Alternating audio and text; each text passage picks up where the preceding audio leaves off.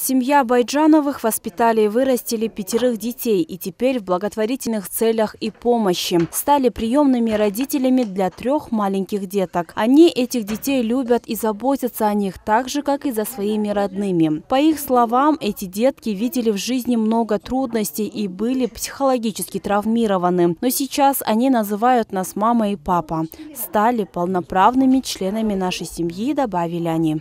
Ну, наверное, это здесь заслуга моих детей, угу. потому что дети к детям идут. У меня внуки, они приезжают, и вот мои, у меня э, сыну 14, дочке 15, вот они в основном с ними сначала. Нас они боялись. Угу. Я когда кушать зову, это, потом купаю, мою. Вот это вот, купаться, это у них, это, это прям у нас особенный ритуал.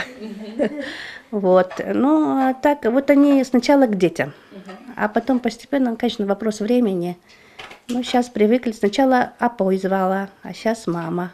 Занимаемся с ними. У меня сын с, с мальчиком, дочка с девочкой. Они уже привыкли друг другу.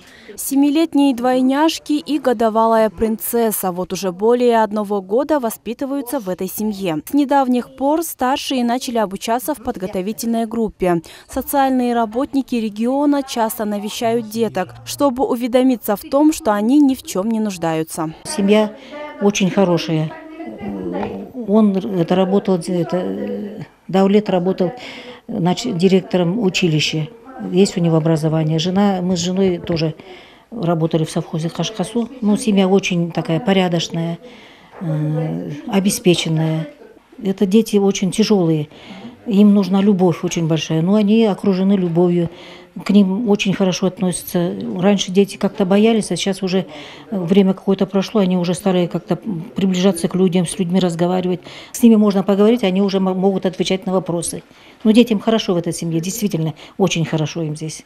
Фостерная или приемная семья – это обученная семья, которая осуществляет воспитание детей, оказавшихся в трудной жизненной ситуации, на определенный период времени на основании договора. Приемная семья должна иметь свое жилье, возраст от 30 до 65 лет, граждане Кыргызстана и желающим необходимо пройти специальное обучение. Стоит отметить, по Аламединскому району имеются 5 фостерных семей, в которых воспитываются 11 детей. Прежде чем отправить ребенка в какую-нибудь семью, мы проверяем психологическое, финансовое, эмоциональное состояние членов семьи.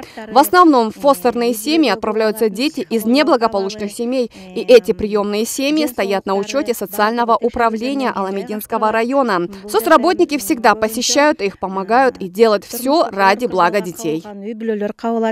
Э, э, Каждый ребенок имеет право на любовь и заботу, возможность воспитываться и расти в полноценной семье. Но воспитание ребенка требует ответственности и сил. И поэтому фостерные семьи создаются с целью помощи деткам, а со стороны государства приемным семьям оказывается материальная поддержка. Алтынай Джумалиева, Самата Самбайулу, СТВ, Аламединский район.